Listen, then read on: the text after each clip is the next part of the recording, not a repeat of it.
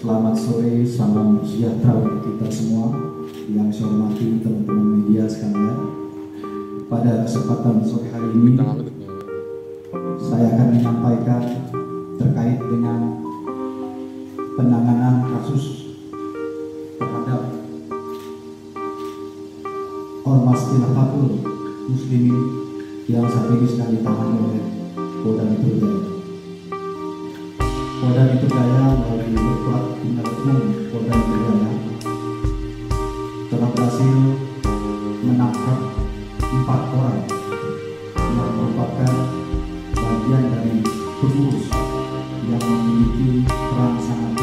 dalam kepengurusan Khilafatul Muslimin.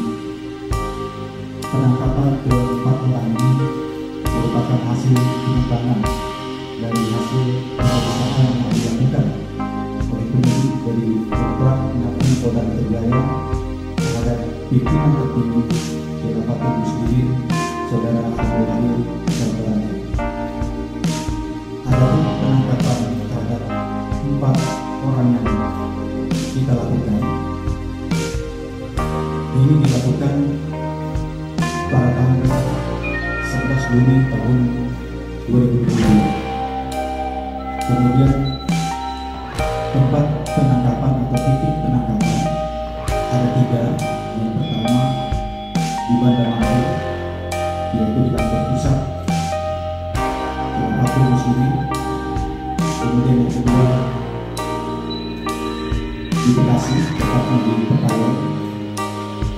Kemudian yang ketiga di Kota adalah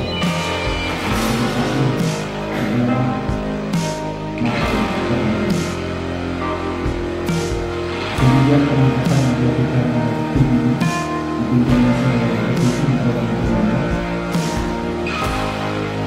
Adapun yang kita tersebut